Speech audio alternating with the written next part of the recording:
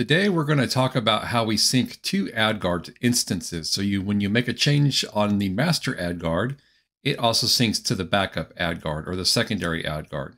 This was a request that was made by one of my viewers, and so I'm going to do it.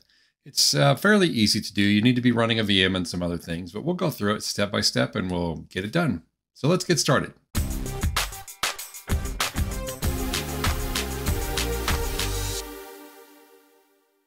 Now this video is going to be a little more hands-on with the command line. We're going to be installing some stuff in a virtual machine to be able to sync our two AdGuard instances across. Now, if you haven't seen my previous AdGuard video, go ahead and watch that because it talks about what I do with AdGuard, uh, what it's used for, and how I've got that set up. I am running two instances of AdGuard, one on my Home Assistant Blue device as an add-on, uh, and you can see that over here. And I'm running a secondary instance of AdGuard on my, and here we go, let's show it to you this time. And I'm running a secondary instance of AdGuard on my Raspberry Pi 4 as a failover device. Now, when I make a change here, I want this change to be able to propagate over to my other AdGuard instance so that I don't have to go and change both of these. So for example, if I want to go into a filter and do something with block services, let's say I want to block whatever this thing is, uh, once I save it here, it will take the block services and propagate those over to my other backup device. So that way, regardless of which AdGuard server my clients are using in my network, it will get the same stuff. So let's dig into what we do here. So the first thing we're going to do is we're going to install what's called Portainer. Portainer is basically a uh, user interface front end for Docker containers. And the only reason I'm doing this is so that I can more easily interact with the logs and stuff like that. You don't have to do this, but I find it easier. So we're going to kind of follow the steps that go along with installing Portainer. And again, this is going to be on the command line. So you need to make sure that you're comfortable with the command line. You need to have a virtual machine or some sort of uh, Linux distro or something running to do this. And I realize this isn't for everybody, so uh, watch along anyway, just to enjoy the video uh, and maybe learn something. Uh, and for those that are running VMs, you understand what you're doing here. So I'm on a demo VM right now, and I'm the, I've already got Docker installed. That's up and running. That's something else you need to make sure you're doing. So I'm just going to follow along with some commands that I've already run uh, on here, and that's just essentially following along with this right here. Uh, I've got it tailored just a little bit um, but it, will work the same way. You can follow the, the documentation here or uh, do your own. So the first thing we need to do is create a data or a container to house the Portainer data. That way, whenever you start and stop the container, it will come back up with all of your environment settings. So we're going to create a volume. Uh, let's see, let's see, do it the right way here. sudo, sudo docker volume create, and we're going to call it Portainer data. And it tells you here that it successfully created that. Now that you got the Portainer data volume created, we're going to create the actual or install the Portainer Docker container. And we're going to do that with a command called sudo docker run. And again, that follows along with essentially what this is right here. The difference being I'm not going to install this secondary port.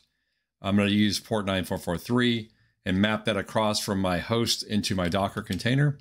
And so you can see here, we're just running that. Uh, it will actually go down and get the uh, Portainer Docker container if we don't have that already or the image.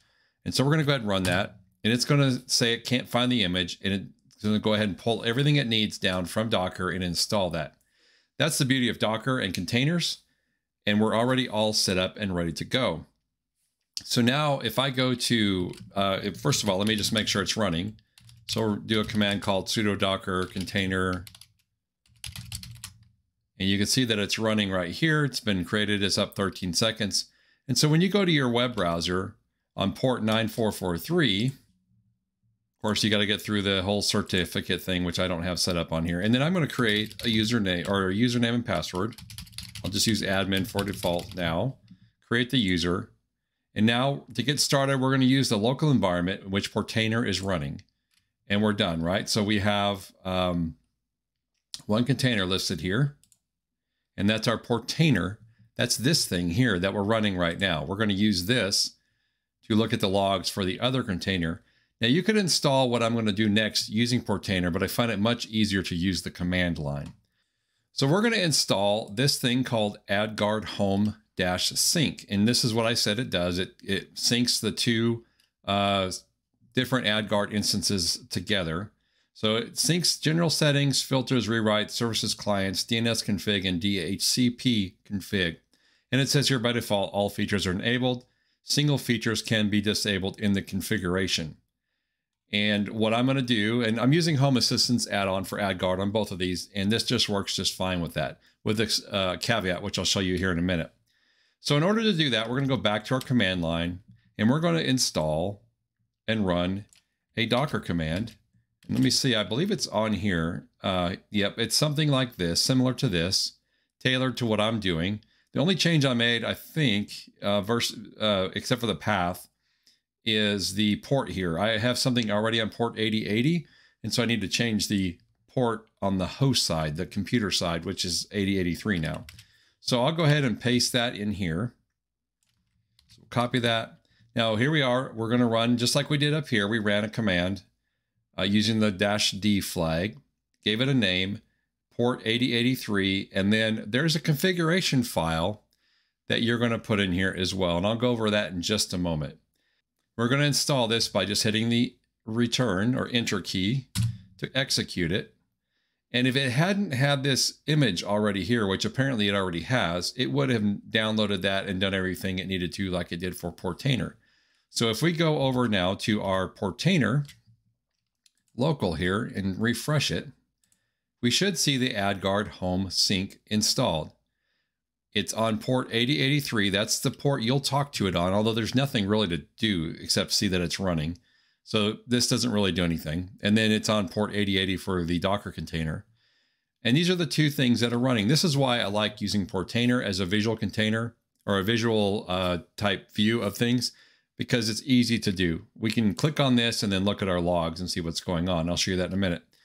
Now, before you install the, the AdGuard container, you're going to need to create a configuration file. And I am going to show you the configuration file the way I have it set up now and talk about a couple caveats. And now you can put this configuration file anywhere you want on your host device. You just need to be able to reference it here when you do this. So I'm kind of doing it backwards. Make sure you have the configuration file first and then run this command and put the uh, configuration file in the path here so that you know where, or so that it knows what configuration to run. And if you mess this up and it doesn't work and your log files aren't working, you can restart this uh, as many times as you need to to reread the configuration file. So don't be scared that you have to do the configura configuration file correctly the first time, although it's really not that hard. Uh, you can restart the container. And that again, that's another reason I like Portainer, is I can continuously restart this as many times as, as I need to reread that configuration file even if you get it the wrong place, you can still uh, fix that and, and re rerun it by uh, changing the commands or the path. All right, so let's look at the configuration file. So it's listed here, home, me, and then sync.yaml. Okay, so this is a configuration file, and you'll first see right up here, and I wish I could blow this up for you, but for some reason on this uh, M MT putty thing I'm using, I can't actually expand it out. So I apologize for that. Um, but you are going to run on start true. Cron is how often it updates. Now, it defaults in the configuration file to 10 minutes. Uh, if I make a change on my master, let's say I block a service for some reason, I want it to be pretty quick. So I'll actually set this to one minute. So it updates every one minute. That's your personal preference. Uh, the origin is where uh, basically the master AdGuard server that you're going to use is where you're going to make the changes that will then propagate to your other replicas. You can have more than one replica, by the way. So here's the URL with port 85, and we'll talk about that here in just a minute. Insecure skip verify. It's going to skip the um, the TLS check, which I want because I'm not running anything TLS wise here. And then you'll assign uh, set the username and password for your AdGuard instance for it to talk to. And then your replica is the same way. Uh, it's the same at the IP address plus the port insecure skip verify if you want to, and then username and password. And then your API is port 8083, which is what I changed the uh, the AdGuard sync to. So instead of being port 8080, this is 8083. And then again, your username and password if you're using that. And then these are where you set the features. Uh, I'm just synchronizing everything. So general settings, query log, stats, it, uh, the whole thing. Uh, these are query log configs, by the way, not the query log itself. uh, your stats, client services, filters, DHCP, and DNS. And that's it. This is your basic setup file, and that's all you need to make it run. And port 85, you'll notice I've specified port 85 on both of these. Uh, this is important because you need to go over here to your AdGuard instance, and you need to be able to get to it from the local network or wherever this VM is running at. So in Home Assistant, and this will differ de depending on how you're running AdGuard. If you're running AdGuard as a standalone appliance or standalone device or something in a VM, you'll have to set this however you however you set that that way. But in the AdGuard add-on, I'm going to go to configuration in my add-ons here. And I am going to go to the AdGuard configuration page.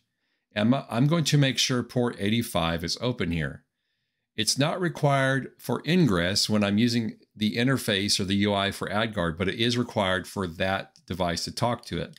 And one of the things you can do once you have this set up to test it is go to the IP address and make sure port 85 is accessible. Now, this tells me that I didn't set it, set it as HTTPS, so I will do that now. Here we go. And it's going to ask me for a username and password. And anyway, if you sign in, it'll work, right? So it's basically talking. And you check that on both of your primary and your backup uh, or your replicas, make sure the ports are open and it's working.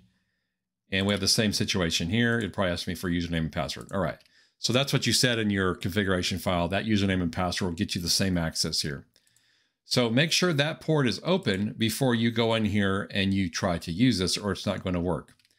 Now, having done all that, if we go back to Portainer, one of the most important things you need to do when you're done is make sure you look at your logs here. So we're just going to go to containers, click on the AdGuard sync container, and by the way, it should say running here. If it doesn't, you've got another issue. You can try to start it from here, uh, but if it doesn't start, you may have some other issue. But anyway, if it is running, you go to logs, and we can see now it's using the AdGuard or the config file and config AdGuard sync-YAML. This is a, the configuration file that it imported into the container.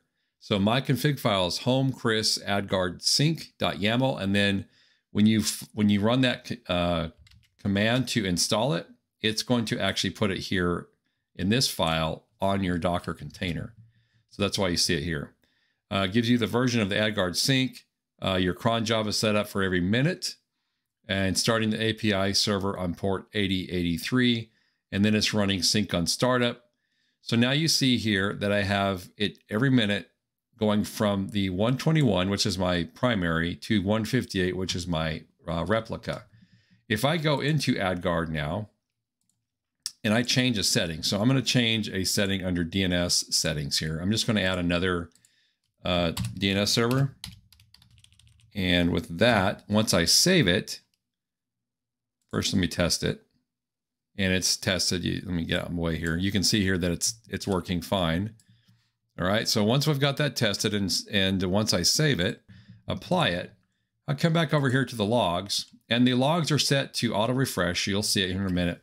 Once the next minute comes up where it does a synchronization, you'll see that it syncs that information from the primary AdGuard server over to the secondary AdGuard server.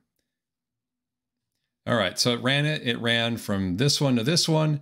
It says client uh, set DNS config list from the host uh, and it did the sync and the synchronization is done. So you see here, it changed the DNS config list and it moved it over to the other one. So if we go over to the secondary AdGuard instant, and by the way, these AdGuard instances actually have to be running or you will not have, or you'll have errors on that as well. So make sure they're running. Oops. Go to AdGuard here. And if I look at my DNS settings, you'll see, and it doesn't matter the order here, you'll see it moved it out of here. But here it is, the one I added. So if I go back over here and I remove it now, and I apply it, and then we look at the Portainer logs, we'll see that during the next cycle, the next sync cycle, which is doing every minute, that you'll see the same thing come across here if we got it in time. And there it is. Now, if we go back over here and we refresh this page, you'll see that it's gone on the secondary. So it's very slick, very fast, and just works. What did we do today? We installed Portainer so we could look at the log files easily. We um, installed the Docker container that creates the AdGuard sync. We started them both up, configured them, not in that order, of course. And then now we're syncing back and forth. Now these log files uh, under Portainer, if you see any issues in the log files, make sure you go in there and you, you check a few things. Make sure that, and it'll tell you the error. It might be a little bit cryptic, but if you're, if it can't start up because it can't find the sync, sync file or this the YAML file, make sure you have that specified correctly when you build it. Now this is up and already built.